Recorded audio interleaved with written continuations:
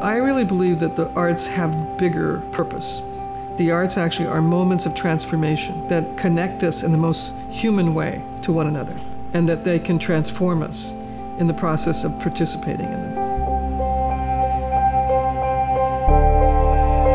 I was at CSUN when it was a school that was basically beginning. And yet it was an important place because it was a state university within reachable distance and made my education possible. I really probably would not have been educated, except for that state university provided an entranceway for families who didn't have the resources to send their children to major universities that cost so much money to, to bring people in.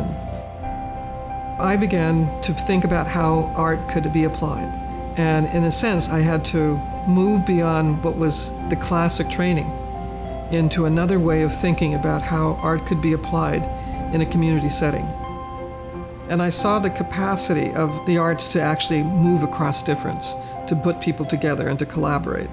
Like I'm often brought to areas of great conflict to work between people who are struggling with one another or in a place to kind of recover or to heal. I like to work in those places because they provide the greatest challenge for me in terms of trying to figure out what is the what kind of site of public memory do the people need to elevate themselves, to begin to think about themselves in a different way. My first major big project was the beginning of the Great Wall of Los Angeles, which is now a half a mile long work that tells the history, an alternate history of the US and particularly of California, that includes the contributions of the diversity of America.